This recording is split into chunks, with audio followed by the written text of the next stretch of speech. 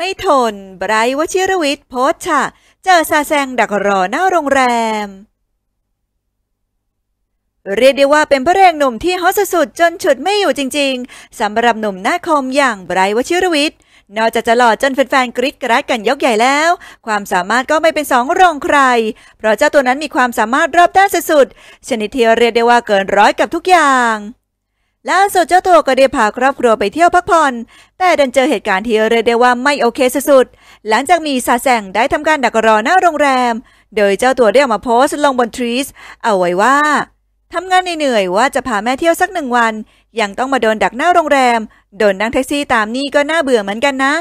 และยังได้โพสต์อีกว่า